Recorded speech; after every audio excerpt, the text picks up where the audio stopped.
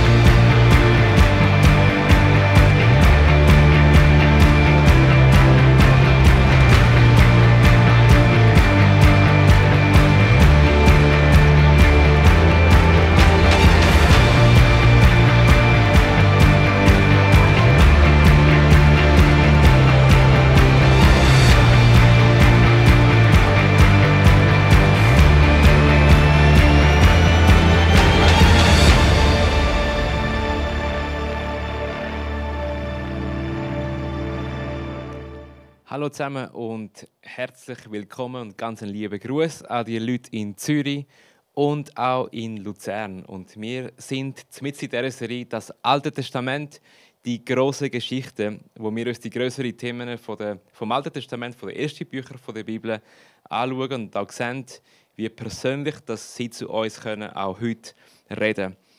Heute schauen wir uns eine von, von den Lieblingsstories der Bibel an und zwar der Exodus vom Volk Israel aus Ägypten. Und ich mag mich erinnern, im Jahr 1998, ich war 13 oder 14, ich weiß nicht mehr ganz genau, ähm, aber dann ist der, der Zeichentrickfilm «Der Prinz von Ägypten» rausgekommen, «Der Prince of Egypt». Und diesen Film habe ich geliebt. Und ich habe den Film, weiß nicht wie, wie viele Mal gesehen, und zwar immer wieder, äh, ein paar Mal sogar zweimal oder dreimal sogar nacheinander. Und immer denkt, hey, wow, das ist eine mega krasse, das ist eine mega wilde Geschichte, eine wilde Story. Und meine Familie war nicht im Glauben. Und so habe ich äh, irgendwie auf die Geschichte von Distanz geschaut, aber gleich mit Respekt. Und denkt, hey, wow, das ist eine krasse Geschichte. Und jetzt, dass ich mit Gott unterwegs bin, und auch glauben, dass die Geschichte wahr ist, dass die tatsächlich passiert ist, hat sie noch mehr Bedeutung bekommen für mein persönliches Leben. Und Tatsache ist, dass das ganze Alte Testament Geschichten über Gott und über sein Volk erzählt und auch einzig und allein auf Jesus zeigt, auf unseren Retter und auf unseren König und auf unseren Erlöser. Und der Exodus, der Auszug der Israeliten aus Ägypten, spielt eine mega wichtige Rolle im Erlösungsplan von Gott für, für die Menschheit. Und aus dem Exodus könnte man wirklich eine ganze Predigtserie machen, weil es gibt so viele Aspekte von dieser Serie. Aber heute werden wir einfach ein paar Teile von dieser Geschichte speziell beleuchten und dann auch daraus ziehen, was sie für uns bedeuten. Der Exodus wird von Theologen als die Geburt von, von der Nation Israel angesehen. Etwa vier Fünftel von der Tora, das heißt von den ersten fünf Büchern der Bibel, und ein Sechstel vom ganzen Alten Testament erzählt von dem kurzen, aber mega wesentlichen Abschnitt in der Geschichte von Israel. Das heißt für die Juden hat der Exodus eine entscheidende Bedeutung. Und der Exodus der findet statt in Ägypten. Das ist ein sehr zentraler Ort für das Volk Israel. Nach dem Abraham, wie wir letzte Woche gehört haben, ist dann der Isaac gekommen. Und nach ihm ist der Jakob gekommen. Und der Sohn von Jakob hat Josef geheißen. Und er endet in Ägypten, nachdem er von seinen Brüdern verkauft wird. Und Gott braucht ihn nach einer krassen Geschichte von Demut, von Glauben, von Ausdauer. Er braucht ihn, Gott braucht ihn, um Ägypten und auch Israel oder die Israeliten von der extremen Hungersnot zu retten. Es ist auch in Ägypten, wo der Mose, wie wir werden sehen, das Volk Israel von Sklaverei und von Unterdrückung rettet. Und es ist auch in Ägypten, wo Jesus als Baby mit seiner Familie Zuflucht sucht und um der Grausamkeit vom König Herodes zu entkommen und auch um Jahre später seine ultimative Absicht zu erfüllen, nämlich als Kreuz zu gehen für die Menschheit, um sie zu retten von der Macht von der Sünde und von der Macht von der Zerbrochenheit. Und sobald wir im 2. Mose im Exodus fangen an zu lesen, dann merken wir sofort, dass es ein großes Problem gibt. Es gibt ein großes Problem im Volk Israel. Die Israeliten sind Sklaven in einem fremden Land, in Ägypten. Und die ersten zwei Kapitel vom 2. Mose, die erzählen etwa 400 Jahre von Sklaverei. 400 Jahre von Missbrauch, von Leid, von Unterdrückung. Aber wir lesen auch, dass Gottes Volk sich in dieser Zeit auch vermehrt hat. Mit dem Josef am Anfang sind es etwa 70 Leute, die zum Volk Israel gehört haben. Aber wir lesen auch, dass am Schluss von diesen 400 Jahren sind es etwa zweieinhalb Millionen Menschen die zum Volk Israel gehört haben. Das ist eine gewaltige Zahl. Generation nach Generation sind sie als Sklaven brutal behandelt worden und es scheint so, als ob, Israel wirklich die Hoffnung verloren hat. Und das führt dann manchmal zu der Frage von uns heute, hey, wie hätte nur Gott können so etwas zulassen, nachdem dass er Abraham verspricht, dass Israel eine Nation wird sein, wo gesegnet wird sein und wo auch ein Segen wird sein für andere Nationen. Gott hat aber Abraham schon vorgewarnt, dass genau das wird passieren. Im 1. Mose 15, 13 bis 14 lesen wir, da sprach der Herr zu Abraham, du sollst wissen, dass deine Nachkommen Fremde in einem fremden Land sein werden. Sie werden 400 Jahre lang als Sklaven unterdrückt werden. Doch ich werde das Volk, das sie unterdrückt, bestrafen am Ende werden sie mit großen Reichtümern von dort wegziehen. Das heißt, der Erlösungsplan von Gott ist on track. Gott verspricht sogar, dass das Volk wird gerettet werden. Und wir werden auch sehen, heute, wie sich Gottes Wille für sein Volk durchsetzt, trotz allen Umständen. In den ersten zwei Kapiteln vom 2. Mose lesen wir auch, dass der Pharao Angst hatte, ähm, dass die Israeliten eine Revolution würden starten weil es sind so viele Leute waren. Und darum gibt er auch den Befehl, alle neugeborenen Buben in den Fluss Nil zu werfen, um so das Bevölkerungswachstum ein bisschen einzudämmen. Und genau in dieser Zeit wird der Mose geboren. Aber seine Mami, seine Mutter, ist so mutig, dass sie den Mose in einen Korb tut, so dass er nicht im Wasser ertrinkt und und eine Über Überlebenschance auch bekommt. Und sie wirft ihn dann in den Nil. Und dann, dank Gottes Gnade, findet der Korb, ähm, äh, die, die, die Tochter vom Pharao findet den Korb und sie nimmt den Mose und sie zieht ihn auf. Und der Mose bleibt bei ihr etwa 40 Jahre lang. Oder bis er 40 äh, alt war. Und das heißt, der Mose ist ein hebräischer Mann, der in der königlichen Familie von Ägypten aufgewachsen ist. Und er ist ein Teil der ägyptischen Elite. Eines Tages, dann, als er 40 war, war er im Auftrag vom Pharao auf dem Feld und er beobachtet, wie ein Hebräer und ein Ägypter am Streiten sind. Und der Mose hat ja gewusst, was seine Abstammung war. Und so versucht er auch, den Hebräer zu schützen und ihm helfen im Kampf gegen den Ägypter. Und der Mose bringt ihn um. Und Mose muss aus Ägypten in die Wildnis flüchten. Und am Volk Israel gleichzeitig ist es nicht besser gegangen. Aber Gott hört den Schrei von seinem Volk. Im 2. Mose 2, 23 bis 25. Nach vielen Jahren starb der König von Ägypten. Aber die Israeliten seufzten noch immer unter der harten Arbeit. Sie schrien um Hilfe und ihr Schreien drang zu Gott. Er hörte ihr Schreien und erinnerte sich an den Bund, den er mit Abraham, Isaac und Jakob geschlossen hatte. Er sah die Israeliten und kümmerte sich um sie. Das ist sehr wichtig, dass wir verstehen. Weil alles, was Gott im Exodus macht, ist direkt mit dem Bund, mit dem Abraham verbunden. Es ist nicht willkürlich, nicht zufällig, nicht einfach Barmherzigkeit von Gott, sondern das ist eine bewusste Entscheidung als Teil vom Erlösungsplan für sein Volk und schlussendlich auch für uns. Gott hört den Schrei vom Volk und er entscheidet sich, einen Mann zu brauchen, um sein Volk von der Gefangenschaft von Ägypten in die Freiheit zu bringen. Und das ist der Mose. 40 Jahre ist er in der Wüste, er heiratet, er findet eine Gruppe von Israeliten, er lebt mit ihnen, er schafft als Hirt. Und eines Tages, an einem ganz normalen Tag, wo er mit der Schöffli unterwegs war, wie immer, hat er eine unvergessliche, krasse Begegnung mit Gott, wo sein Leben für immer verändert. Und Gott rettet zum Mose aus einem Dornbusch. In 2. Mose 3, 4 bis 5 und Vers 10 lesen wir, als aber der Herr sah, dass er hinzutrat, um zu schauen, rief ihm Gott mitten aus dem Dornbusch zu und sprach, Mose, Mose. Er antwortete, hier bin ich. Da sprach er, tritt nicht näher heran, ziehe deine Schuhe aus von deinen Füßen, denn der Ort, wo du stehst, ist heiliges Land.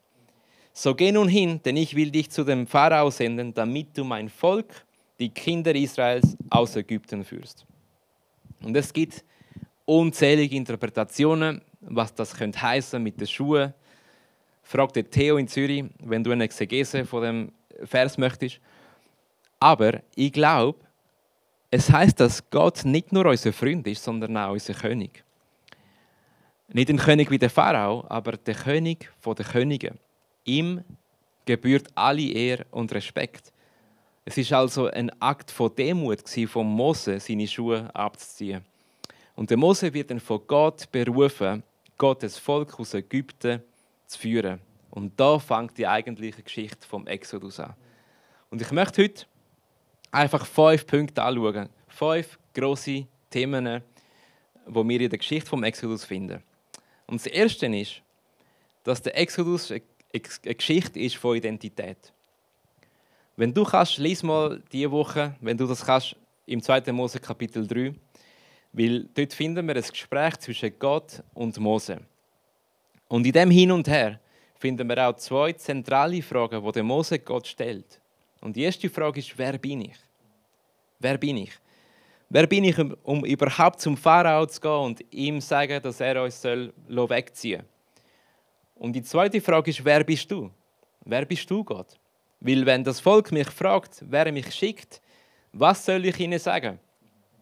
Und das sind zwei fundamentale Fragen in unserer Glaubensreise. Wer bin ich und wer ist Gott? Die Antworten auf die zwei Fragen, die beeinflussen die Art und Weise, wie du dich selber siehst, wie du Gott siehst und wie du dein Umfeld siehst. Alles in unserem Leben, im Da und Jetzt, aber auch in der Ewigkeit, basiert auf die richtige Antwort auf die zwei Fragen. Wer sind wir und wer ist Gott? Und das Gespräch gibt Mose, oder im Gespräch gibt Mose die Antworten, oder Gott an Mose die Antworten zu diesen zwei Fragen. Wer bin ich? fragte Mose. Und Gott antwortet ihm einfach, hey, ich werde mit dir sein, ich werde mit dir sein. Und das ist so grundlegend für die Art und Weise, wie wir uns selber sehen. Unser Glaube ist definiert durch die Tatsache, dass Gott mit uns ist. Wir gehören ihm und wir können uns selber nicht definieren außerhalb von Gott. Sobald wir an ihn glauben, ist er mit uns wir gehören ihm. Es ist seine Gegenwart in uns, die uns befähigt, das zu machen, wo wir berufen sind und den Plan ausführen, den er für uns parat hat. Unser Glaube befähigt uns, das zu tragen, was Gott uns gibt. Weil es ist nicht unsere Kraft, sondern es ist Gottes Kraft in uns, wo wirkt. Der Mose sagt ein paar Mal zu Gott: Hey, Gott, ich kann das nicht machen, schicke jemand anders, ich bin nicht fähig.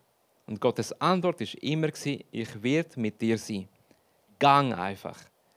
Wir finden unsere Identität in Gott, indem wir anerkennen, dass er mit uns ist und immer wird sein. Und dann fragt der Mose, wer bist du, Gott? Und Gott sagt einfach, ich bin der ich bin.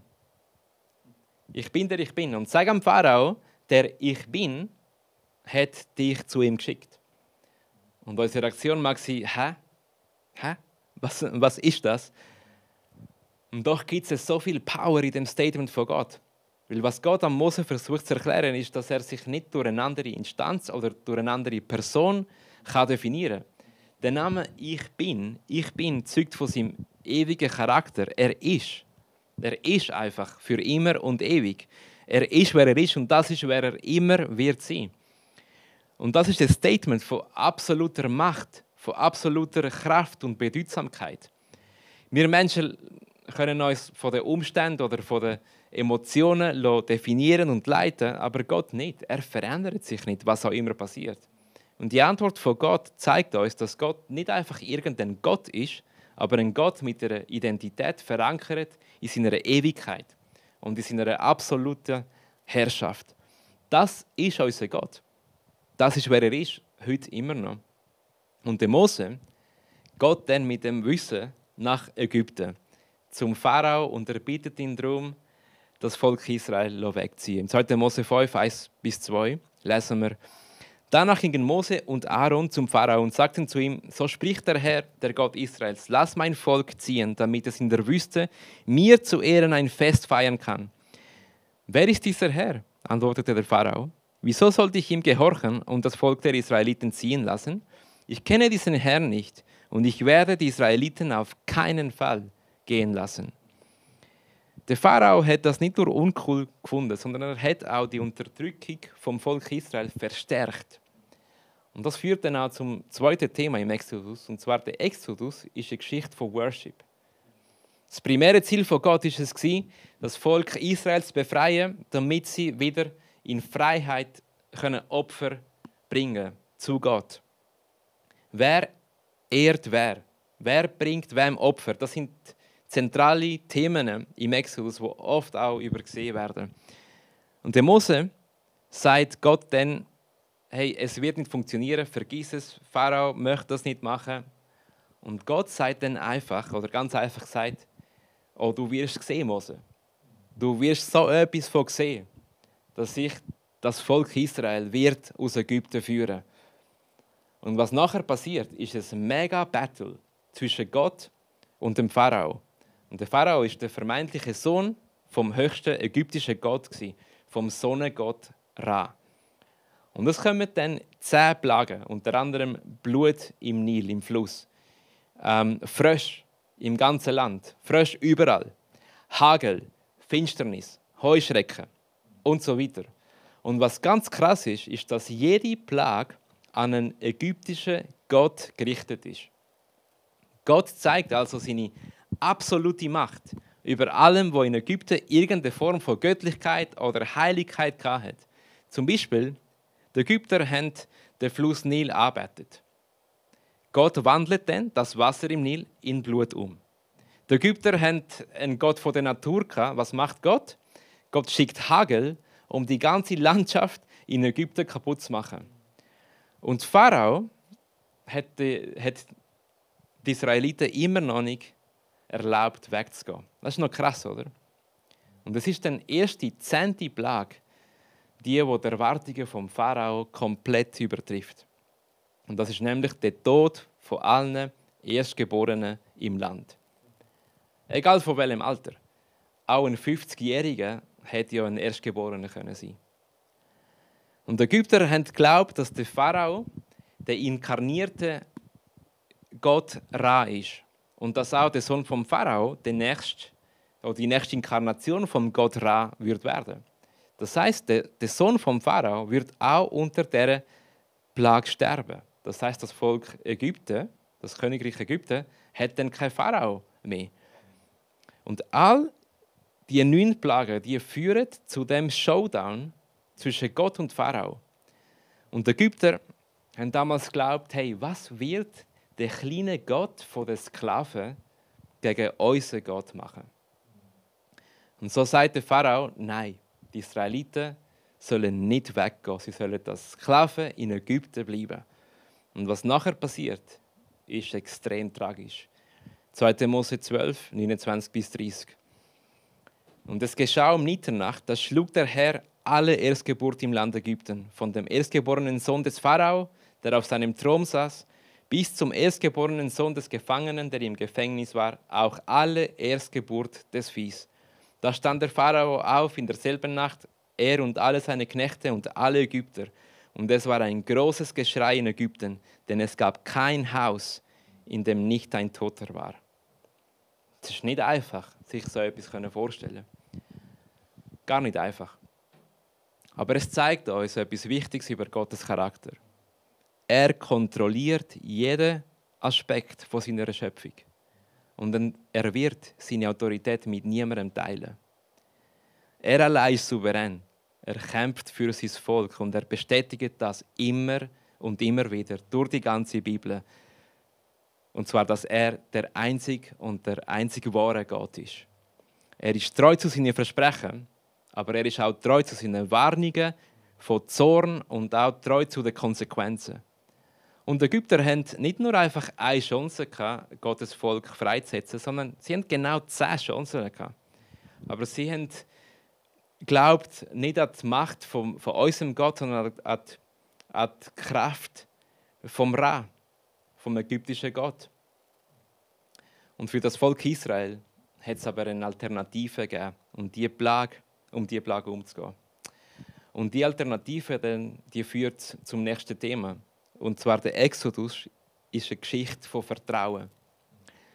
Alle Israeliten wo das Blut von einem Makellosen, von einem jungen Lamm an den Türpfosten angebrochen haben, die sind von dieser Plage, vom Tod vom Erstgeborenen verschont bleiben. Du kannst dir vorstellen, wenn du ein Israelit gewesen wärst in dieser Zeit. Du hast vielleicht ein junges Lamm äh, mit deiner Familie und die Kids spielen mit dem Schöfli und eines Tages nimmst du einfach das Schöfli und draußen auf der Straße tust du das Schöfli schlachten. Du bringst es um. Alle sehen es, weil es hätte ja öffentlich passieren Du nimmst dann das Blut vom Schöfli und du tust die Pfosten von der Türe schmieren. Der linken, der rechten und der oberen. Und deine Kinder fragen dich, hey, was ist mit dir los? Warum hast du das gemacht? Du sagst ihnen einfach, hey, ich habe das machen, damit deine älteren Brüder nicht muss sterben Und das Lamm stirbt an der Stelle von jemandem in der Familie. Das Blut war links, rechts und oben. Und das ist ein Bild von einem Kreuz. Und die Israeliten haben, haben gar nicht gewusst, was das bedeuten. Hunderte von Jahren später gibt es ein ähnliches Ereignis mit Jesus, unserem Retter, mit unserem perfekten Lamm. Das tote Lamm, und das Blut, das sind Bilder, die für immer bleiben. Und wir wissen heute ja, wie die Geschichte im Exodus endet. Aber für sie damals, Generation nach Generation, über 400 Jahre als Sklaven in Ägypten. Und plötzlich müssen sie ein Tier schlachten, das übrigens für die Ägypter auch heilig war. Das war ein, Tier, das am ähm, ägyptischen Gott Ra heilig war. Und dann müssen sie vor allen Leuten das Lamm, das Tier schlachten und dann vertrauen, dass sie nicht würden sterben Das ist ein mega krasses, riesiges Maß an Vertrauen, wo Gott vom Volk Israel verlangt. Und die Tatsache ist, ey, dass die einzigen, die verschont bleiben, schlussendlich die sind, die tatsächlich das Blut hatten am Pfosten vor dem Haus und Gott auch vertraut haben. Und das Volk Israel bleibt verschont nicht, weil sie bessere Menschen sind als die Ägypter, sondern weil sie vertraut haben, dass das Opfer vom Lamm, einzig und allein das Opfer vom Lamm genug war, um gerettet zu werden. Das ist so ein starkes Bild. So ein starkes Bild, das sich immer wieder auch im Alten Testament wiederholt und für uns heute immer noch Bedeutung hat. Vom Anfang an, der einzige Weg, Vergebung zu empfangen, ist am Vergeber zu, äh, zu vertrauen. Der einzige Weg, die Versprechen von Gott zu empfangen, ist es, Gott zu vertrauen. Und der einzige Weg, auch gerettet zu werden, ist es, Gott, unserem Retter, zu vertrauen. Das Ereignis wird bis heute von den Juden jedes Jahr als das Passafest gefeiert. Und das ist so ein starkes Bild von Jesus Christus, vom perfekten Lamm, der für uns am Kreuz gestorben ist und nach drei Tagen auferstanden ist, was wir ja nächste Woche an Ostern werden feiern. Wir dürfen einzig und allein ihm vertrauen, an ihn glauben, um von der Macht vom Tod gerettet zu werden. Der nächste Punkt heute ist der Exodus, ist eine Geschichte von Errettung. Und die Geschichte mit dem Mose, die geht weiter. Und der Pharao erlaubt es auch den Israeliten wegzugehen. Er ändert aber seine Meinung extrem schnell wieder. Und so befindet sich dann das Volk Israel am Roten Meer Und hinter dran haben sie die ägyptische Armee, wo übrigens extrem mächtig war damals, und die ist näher und näher gekommen. Und es hat so ausgesehen, als ob es für sie vorbei gewesen wäre. Das Volk hat Angst gehabt. Und sie haben dann Mose gesagt: Hey Mose, wir haben doch dir schon vorher gesagt, wir hätten doch in Ägypten bleiben. Schau, unser Gott macht nichts für uns. Wir werden hier sterben. Mose, mach etwas. Und der Mose sagt zum Volk im 2. Mose 14, 13 bis 14: Fürchtet euch nicht, steht fest und seht die Rettung des Herrn, die er euch heute bereiten wird. Denn diese Ägypter, die ihr heute seht, die werdet ihr nicht wiedersehen in Ewigkeit. Der Herr wird für euch kämpfen und ihr sollt still sein. Und wir lesen dann, dass Gott tatsächlich nicht unmöglich ist. Nichts kann ihm davon abhalten, sein Versprechen zu erfüllen. Und er teilt das Meer dann. Einige sagen, dass es nur so wenig Wasser war in dem Moment.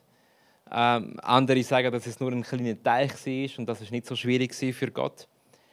Es ist egal, wie viel Wasser das es in dem Moment. Es ist egal, wie groß das, das Meer war. Weil was wir sehen, was wir lesen, ist, dass das Volk Israel auf trockenem Land auf die andere Seite von dem Meer geht. Gott schützt sie dann sogar mit Feuer, mit Wolken. Und Gott schließt dann das Meer wieder und die ganze Armee vom Pharao ertrinkt im Wasser. Was heißt das? In einer krassen, in einer dramatischen Art und Weise führt Gott sein Volk aus Ägypten. Und der Punkt ist, Gott offenbart sich durch wer er ist. Er offenbart sich auch durch unsere Beziehung zu ihm, durch seine Beziehung zu uns, aber auch durch seine mächtigen Taten, durch seine kraftvollen Taten, durch seine Wunder. Das zeigt uns auch, dass Gott alles wird für uns machen, auch heute, wo in seiner Hand ist, um uns zu retten, wenn wir ihm vertrauen. Er wird alles in seiner Hand machen, um uns zu retten. Und was ich persönlich ganz stark an dieser Geschichte finde, ist, dass ist was unmittelbar nach dem Ereignis passiert. Sie sind auf der anderen Seite. Sie sind gerade aus der Gefangenschaft von Ägypten befreit worden, nach 400 Jahren, nach so vielen Generationen. Sie sind gerettet. Sie sind endlich frei. Und dann tun sie das, was Gott von ihnen erwartet hat. Und der Grund, warum sie überhaupt aus Ägypten haben müssen flüchten, und zwar, sie bringen Opfer und sie loben und sie preisen Gott. Im 2. Mose 15, 1 bis 2. Da lesen wir, damals sangen Mose und die Kinder Israels dem Herrn diesen Lobgesang und sprachen, ich will dem Herrn singen, denn hoch erhaben ist er. Ross und Reiter hat er ins Meer gestürzt. Der Herr ist meine Stärke und mein Lobgesang und er wurde mir zum Heil. Das ist mein starker Gott. Ich will ihn preisen. Er ist der Gott meines Vaters. Ich will ihn erheben. Das kann auch zu unserem Song sein, zu unserem Lied sein. Und die Hälfte vom Kapitel 15 im 2. Mose ist ein Worship-Song. Und dann im nächsten Kapitel aber sehen wir, wie sie sich anfangen zu beklagen, anfangen zu motzen gegenüber Gott, gegenüber Mose. Sie vergessen dann, das Volk Israel vergisst, was Gott für sie gemacht hat. Und das ist etwas, was sich dann immer wieder wiederholt im ganzen Alten Testament. Und sie trauern dann auch die Zeit in Ägypten an. Das zeigt uns das letzte große Thema im Exodus, und zwar, dass der Exodus unsere Geschichte ist. Der Exodus ist unsere Geschichte. Weil es ist so einfach, auf das Volk Israel zu schauen und denken, wow, sie sind gerettet worden, sie haben alles erlebt, eine machtvolle Tat, Gottes Kraft erlebt, mit Gott, krasse Erlebnis mit Gott erlebt, er hat sie gerettet. Und sie sind so undankbar. Sie sind nicht dankbar. Das ist wie unerhört für uns. Wir können sie einfach aufhören vertrauen und vergessen, wer Gott ist. Nachdem das so viel passiert ist. Aber bevor wir das machen, müssen wir auch auf unser eigenes Leben schauen. Auch wir sind vergesslich. Auch wir gehen zurück zu alten Gewohnheiten, immer wieder. Nachdem dass wir von Gott gerettet worden sind und sogar, auch sogar Wunder erlebt haben. Wir gehen immer wieder zu der Vergangenheit und schauen zurück. Was sagt der Mose aber? Der Mose hat damals gesagt, hey, schaut auf die Rettung. Schaut auf die Rettung, die noch vor uns ist. Das ist ein Bild auch, dass wir nicht sollen zurückschauen, sondern führen schauen. Führen schauen auf das, was Gott für uns parat hat. Und der Exodus, wie auch das ganze Alte Testament, ist die Geschichte der Menschheit. ist die Geschichte von Menschen wie du und ich, die ohne Gott durch die Wildnis, ohne Richtung durchgehen, im, Le im Leben einfach wandern. Und wir brauchen Identität. Wir müssen wissen, wer wir sind. Aber auch, wer Gott ist. Wir sind nicht ohne Gott. Und Gott ist unser Herr. Er ist der Herr der Herrschaft. Er ist der König der Könige. Und wir müssen dann erkennen, dass es einen Kampf gibt, für was wir erheben, für was im Zentrum von unserem Leben ist. Wem bringen wir Worship? Nicht nur, wenn es uns schlecht geht, nicht nur, wenn es uns super geht, sondern in jeder Lage sollen wir Gottes Namen erheben über unserem Leben, über unseren Umständen. Auch wir können Gott vertrauen. Im Kleinen, auch im Großen. Wir können vertrauen, dass, dass Gott seine Pläne in uns und durch uns wird durchsetzen. Und auch wir müssen realisieren, dass wir uns selber nicht retten können. Dass wir einen Retter brauchen. Dass wir errettet werden müssen. Dass unser Leben zum Tod führt. Aber dank Jesus können wir ein ewiges Leben empfangen. Und auch wir müssen immer wieder gerettet werden. Der Exodus ist unsere Geschichte. Und wenn du in Zürich oder in Luzern bist, dann kannst du auch gerade aufstehen und ich möchte für uns alle beten zum Schluss dieser Predigt. Vater im Himmel, danke. Danke, dass du der bist, wo dein Volk Israel aus Ägypten geführt hat. Mit mächtigen Taten, mit kraftvollen Taten. Danke, dass das Volk dich, dir vertraut hat und auch mit dir der Weg gegangen ist von Vertrauen. Und dass du treu bist zu den Versprechen, die du am Volk gegeben hast. Und Vater, ich bitte, dass wir auch anerkennen, dass wir wissen müssen, wer wir sind. Und dass unsere Identität in dir verankert ist, in deinem Charakter als ewiger Gott. Vater, offenbar du uns als ein, ein Herrscher, als ein, ein machtvoller Gott, aber auch als unser Hirt, als der, der uns den Weg zeigt. Vater, wo es einen Kampf gibt in unserem Leben, von was im Zentrum soll sein. Ich bitte, dass du uns daran erinnerst, dass es das Beste ist, was wir machen können, dich im Zentrum zu haben und deinen Namen erheben. Und dass wir auch dir können vertrauen, im Kleinen wie auch im Großen. Vor allem, dass du gute Pläne von Hoffnung, von Zukunft für uns parat hast. Und Vater, ich, ich bitte auch, dass dort, wo wir denken oder unsicher sind, dass wir uns nicht retten können, dass wir anerkennen, dass es einen Retter gibt und dass der Retter dein Sohn Jesus ist. Und dass wir ihm immer wieder Ehre bringen, nur ihm allein. In deinem Namen beten wir. Amen.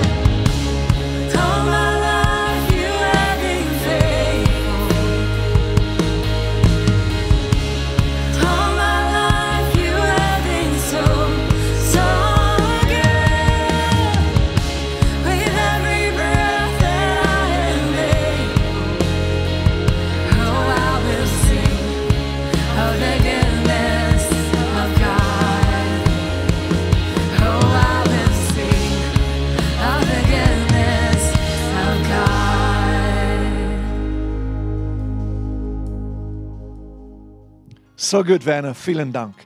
Wenn du in Kontakt bleiben möchtest mit uns, dann geh auf unsere Website. Wir haben eine Online-Welcome-Karte oder Formular, die du ausfüllen kannst. Und dann senden wir dir einfach monatlich ein Newsletter, dass du up-to-date bleibst mit alles, äh, was uns betrifft als Church. Wenn du geben möchtest, spenden möchtest oder dein Zehnten geben möchtest, du siehst hier auf dem Screen alle Infos. Und sonst like und subscribe und wir wünschen dir wirklich eine gute Woche. Nächste Woche ist Osten. Wir haben etwas Spezielles äh, geplant. Es ist eine Celebration, ein Highlight für uns als Gläubigen. Du bist auch willkommen, in einer von unseren Locations dabei zu sein. Bis bald.